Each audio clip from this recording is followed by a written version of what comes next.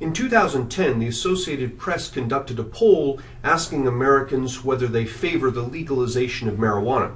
In 2010, 33% of the respondents said that they did favor legalization, while 67% said they did not. The Associated Press then repeated this poll in 2013, again asking Americans whether they favor the legalization of marijuana. This time they found that 36% of Americans did favor legalization, while 64% did not. So looking at these two polls, we see a 3% increase in favoring of legalization of marijuana from 2010 to 2013. The problem is that the 2010 poll was based on a survey of only 1,001 people. The 2013 poll was based on a survey of 1,367 people. So really, we don't know how Americans' perception of the legalization of marijuana has changed. All we know is the difference in the responses between these two samples of about a thousand people. What we really want to know is how all Americans' perceptions of marijuana legalization have changed from 2010 to 2013. And of course, there's no way to know this without polling every single American in both years. So what we can do instead is to construct a confidence interval based on the sample of respondents that we did observe. The confidence interval is the sample measure plus or minus the standard error of the measure multiplied by a critical value. In this case, the sample measure is the difference in the polling results that we saw in 2010 and 2013. In 2010, 33% of respondents favored legalization. In 2013, 36% of respondents favored legalization. That's a difference of 3 percentage points.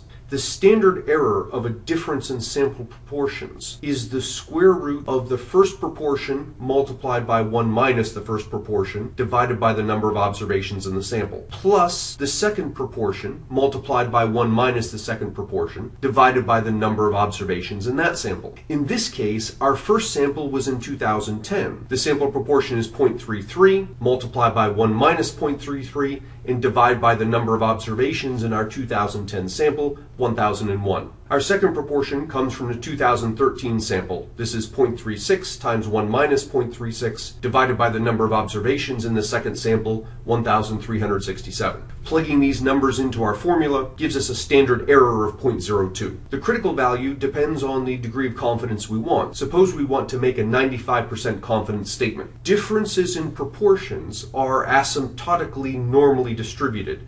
That is, they're normally distributed provided that you satisfy these four requirements that the number of observations multiplied by the proportion and the number of observations multiplied by 1 minus the proportion is greater than 5 for each of your two samples. In this case, we satisfy all four criteria. If you don't satisfy the criteria, then you need to go collect more data. So the difference in sample proportions is normally distributed. We're looking for the area in the normal distribution that has 95% in the center. The critical value is the number that divides our normal normal distribution so that we have 95% in the center. In this case, it's plus or minus 1.96. So we have a sample measure of 0.03, the standard error of the sample measure is 0.02, and a critical value of 1.96. Putting all of this together gives us the confidence interval on the low end of negative 0.9% and on the high end of 6.9%. So we can now make two statements. The first statement is, in 2010, we surveyed 1,001 people, and in 2013, we surveyed 1,367 people. And across those two samples, the difference in the number of people who favor legalization of marijuana is 3 percentage points. The other statement we can make is that although we don't know know the percentage of all Americans who would favor legalization of marijuana. We do know that there's a 95% chance that the percentage of Americans who would favor legalization of marijuana changed from 2010 to 2013, somewhere between negative 0.9% and 6.9%.